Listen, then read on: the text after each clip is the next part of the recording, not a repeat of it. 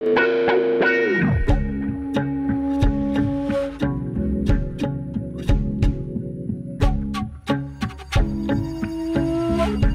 those of you who think I should play it slow, party less and listen more, what I should wear and where I should go, with whom and when I should be back.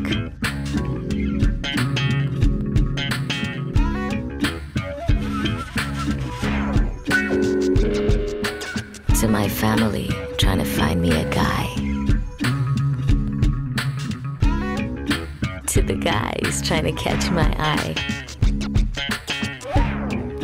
To the girls who can't handle what I'm about. To everyone who can't handle what I'm about. Butt out. Jealous 21.